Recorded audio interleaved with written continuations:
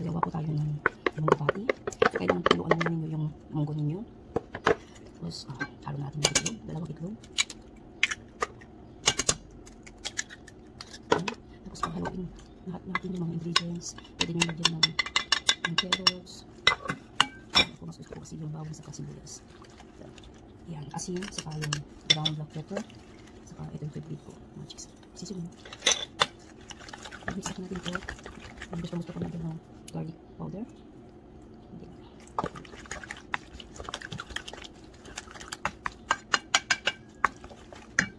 Tapos maglalagay tayo ng um, flour. Half cup.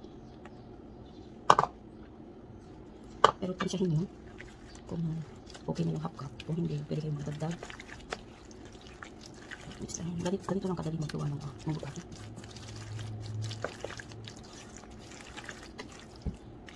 Dagdagan ko pa ng flour.